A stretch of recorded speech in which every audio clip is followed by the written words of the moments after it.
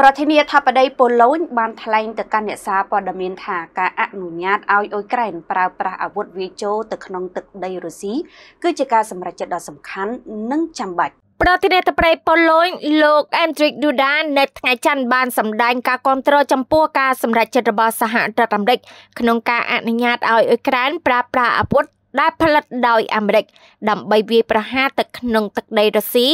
ដែលលោកចាត់ទុកថានេះជាការសម្រេចចិត្តដ៏សំខាន់មួយដែលអាចផ្លាស់ប្ដូរស្ថានភាពនៃសង្គ្រាមនេះបើយោងតាមការចេញផ្សាយដោយទីភ្នាក់ងារសារព័ត៌មាន Reuters ថ្លែងទៅកាន់អ្នកសារព័ត៌មានលោក Duda បានលើកឡើងដូចនេះថាការសម្រេចចិត្តរបស់អាមេរិកក្នុងការអនុញ្ញាតឲ្យអ៊ុយក្រែនប្រើប្រាស់អាវុធវាយប្រហារទៅក្នុងទឹកដីរុស្ស៊ីគឺជាការសម្រេចចិត្តដ៏សំខាន់និងចាំបាច់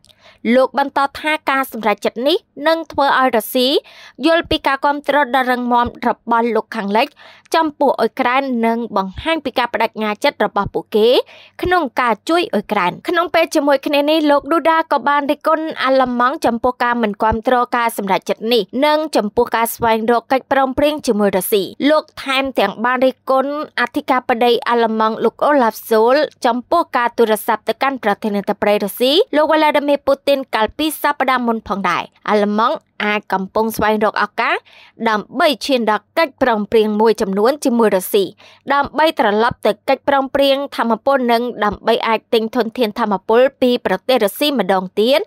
រុស្ស៊ីកំពុងវេលុកអ៊ុយក្រែនយ៉ាងព្រៃផ្សៃហើយមេដឹកនាំនៃពិភពសេរីកំពុងពិភាក្សាជាមួយអ្នកឈ្លានពាន ខ្ញុំជឿយ៉ាងមុតមមថាវាជាកំហុសលើមុខមាត់នយោបាយអន្តរជាតិនេះសម្រងសម្ដីរបស់លោកឌូដាដែលបានរិះគន់អធិការបតីអាល្លឺម៉ង់នាយករដ្ឋមន្ត្រីប៉ូឡូញលោកដូណាល់ថាក៏បានរិះគន់លោកសូលផងដែរដោយនិយាយថាគ្មាននរណាម្នាក់នឹងបញ្ឈប់លោកពូទីនដោយការហៅទូរស័ព្ទនោះទេក៏បញ្ជាក់ថាការរិះគន់ទាំងនេះបានបង្ហាញពីភាពខ្វែងគំនិត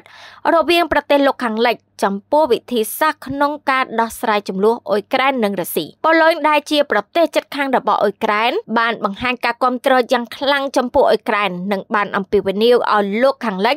បង្កើនការគ្រប់គ្រងនិងដាក់សម្ពាធបន្ថែមទៀតទៅលើរុស្ស៊ី